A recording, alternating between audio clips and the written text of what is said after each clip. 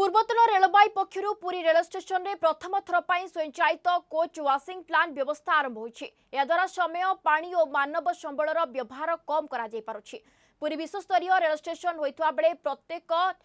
প্রত্যহ এঠার দেশর বিভিন্ন স্থানক ট্রেন চলাচল করুছে পূর্বর ম্যানুয়াল ব্যবস্থা দ্বারা ট্রেন সফা করা সময় লাগুলা স্বয়ংচালিত coach washing প্লান্টে water treatment plant control room vertical